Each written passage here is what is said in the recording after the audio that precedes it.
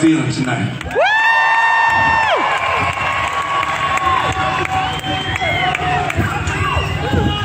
It's a beautiful evening out here.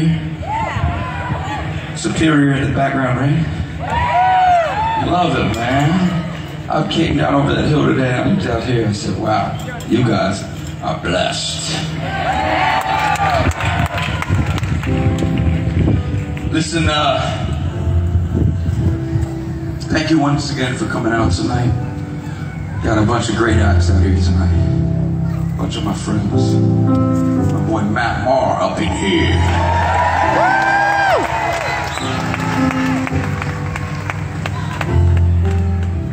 Listen, about five years ago, I decided that I was gonna read the whole Bible.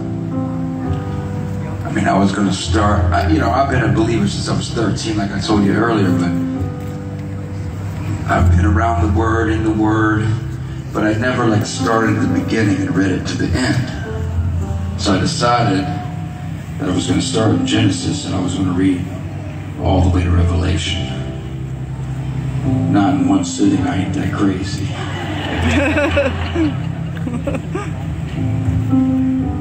I'm reading my third time now, and I just finished Psalms the other day. That's a lot of chapters in that one, man. 150, dog. It's beautiful, though. Anyway, I, so five years ago, for the first time, I started reading. And about three or four weeks into that, me deciding to read, tragedy hit our household. So I put the Bible down. I couldn't keep going. I, I didn't have the heart. But I kept walking past the Bible. And finally one day I just picked it up. And I looked up at God. And I said, I'm going to give you a chance. Imagine telling the God of all creation that you're going to give him a chance. But that's what I told him. And I opened the Bible back up and I started reading. And I learned something as I read. I learned something about relationship. You see, to have a relationship with anyone, you got to be talking to them, and they got to be talking to you. You got to be listening to them, and they got to be listening to you. Well, the way I see it, the way God talks to us is through His Word, and the way we talk to Him is through prayer.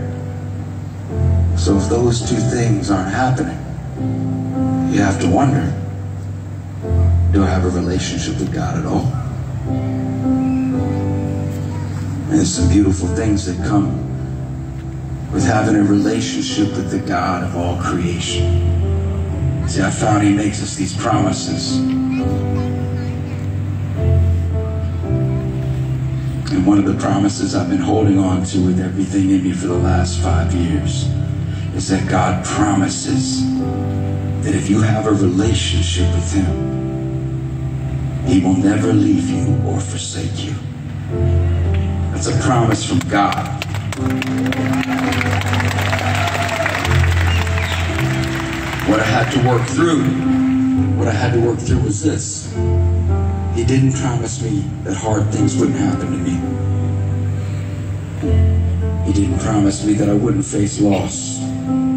That's not his promise. He promised me that he would never leave me through the hardest of hard, through the most painful, and I can tell you this, he promises you the same. No matter how hard it is for you right now, no matter who's hurt you, God made a promise to you. If you have a relationship with him, he will not leave you. Sometimes it takes a minute to find him. It took me a lot of minutes, a lot of times. But I had to wait. And when I waited and I was patient, and I listened, I learned that he remains faithfully. It's been a hard year, it almost took me down, I swear.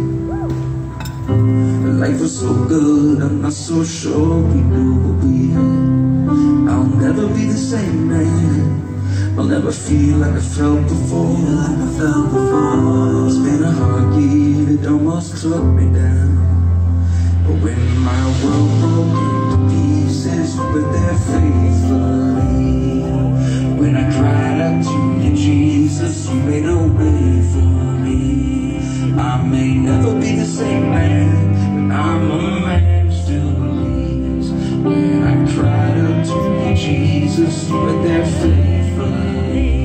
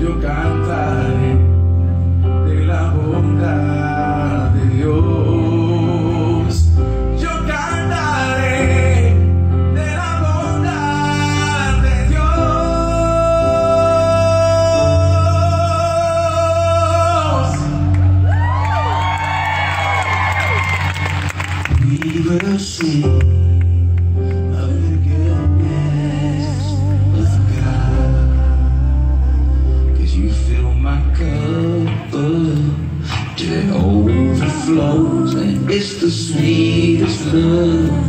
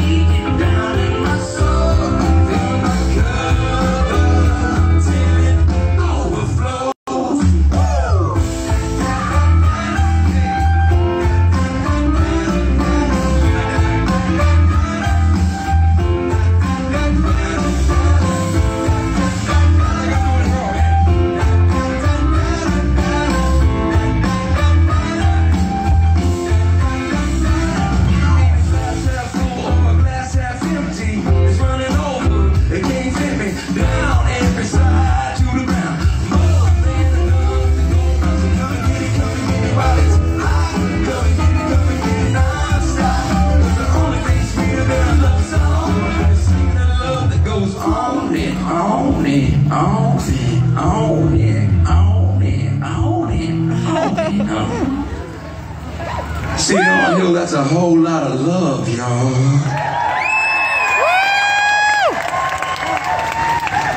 You see this dude back on the keyboards to just sang for y'all? He's a new guy. His name is David.